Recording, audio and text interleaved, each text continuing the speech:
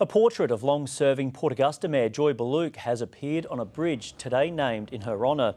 The striking tribute was secretly painted overnight by two local artists as and, and its surprise guests attending the dedication of the Joy Baluch Bridge. a bit of respect uh, to Joy not being able to be here.